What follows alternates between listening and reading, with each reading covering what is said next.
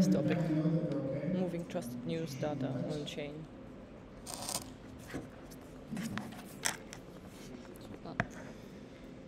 So thanks for the intro. Um, again, I'm Dwayne Desaulniers with Associated Press.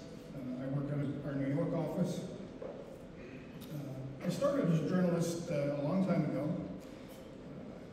Uh, and um, really fell in love with, with technology in the mid-90s when the internet was, was happening. And it struck me that this is you know, a cluster of technologies that is just going to have a real big impact on journalism, both news collection uh, and news distribution. Uh, so I fell in love with that.